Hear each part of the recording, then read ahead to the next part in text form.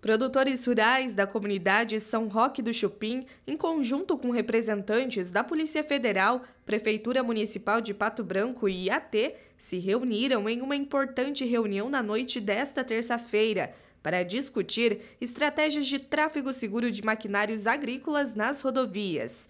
A reunião contou com a participação de mais de 30 produtores rurais.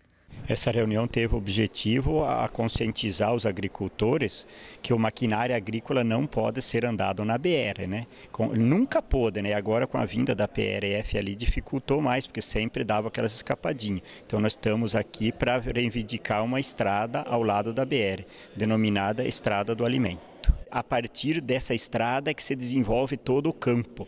O deslocamento das máquinas agrícolas do sul do, do município de Pato Branco ao norte do município, eles precisam passar pela BR. E como em Pato Branco nós não temos nenhum caminhão plataforma para transportar colheitadeiras, elas têm que ir rodando.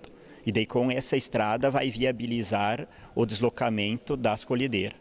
O produtor rural Silvio Assi esteve presente na reunião e expressou sua opinião sobre a importância da construção de uma estrada paralela para facilitar a dinâmica de trabalho dos produtores ao transitarem com as máquinas. Essa paralela que nós estamos buscando seria de extrema importância para que o produtor pudesse se deslocar é, para fazer suas colheitas, fazer suas, suas lavouras que ficam mais distantes da sede, da sede. Então, por isso que nós estamos pleiteando junto ao município que faça essa estrada paralela, nós não queremos asfalto, nós não queremos cascalho, nós só queremos que seja aberta essa estrada para que o produtor possa trabalhar.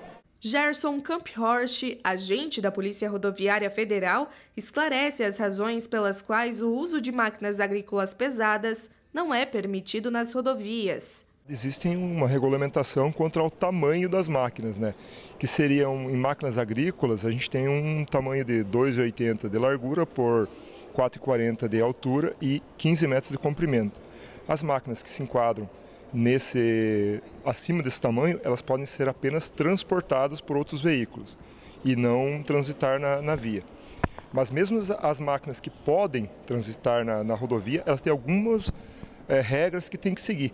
Alguns equipamentos obrigatórios, como por exemplo retrovisores, a sistema de iluminação, e como os, os demais veículos, né? Mas daí cada máquina vai ter sua especificidade daí, né? A colheitadeira, por exemplo, excede essa medida estabelecida por lei. Portanto, é proibido o deslocamento dela em rodovias. Neste caso, é necessário que a máquina seja transportada por veículos especializados.